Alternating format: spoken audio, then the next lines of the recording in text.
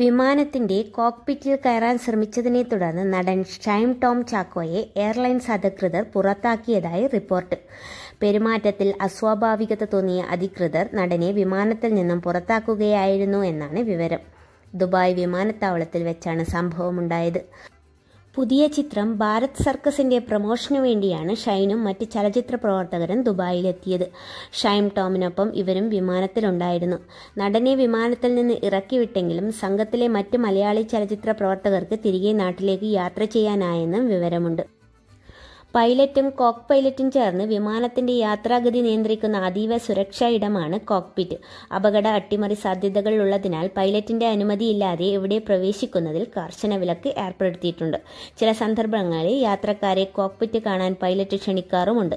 സെലിബ്രിറ്റികൾ രാഷ്ട്രീയ നേതാക്കൾ തുടങ്ങിയ പ്രമുഖർക്കാണ് സാധാരണ അത്തരം അവസരം ലഭിക്കാറ്. സോഹൻ സിനലാൽ സംവിധാനം ചെയ്യുന്ന ഭാരത് സർക്കസിന്റെ തിരക്കഥ രചിച്ചിരിക്കുന്നത് മുഹാദ് വെമ്പായമാണ്. ജാഫർ ഇടുക്കി സുധീർ കരമന മേഘ തോമസ് ആരാധ്യ ആൻ സുനിൽ സുഗത തുടങ്ങിയവർ അഭിനയിക്കുന്നു.